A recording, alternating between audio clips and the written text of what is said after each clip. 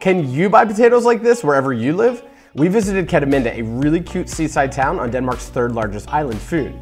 It was named one of Europe's best secret villages by National Geographic, and it's also meant to have Denmark's best ice cream.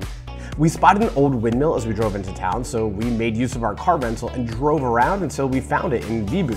Then we continued up the coast to hike around the northern peninsula. It was so windy. So we drove back to Kerteminde, and as we did, we spotted something we had only heard about in urban legend, meaning Copenhagen urbanites back home told us about these. They're roadside produce stands where you can buy a bag of potatoes for 15 kroner or two bags for 25. All you do is take them out of their storage unit and then take out your phone and send an electronic payment to the person who put them there. We call it mobile pay here in Denmark, but it left us wondering,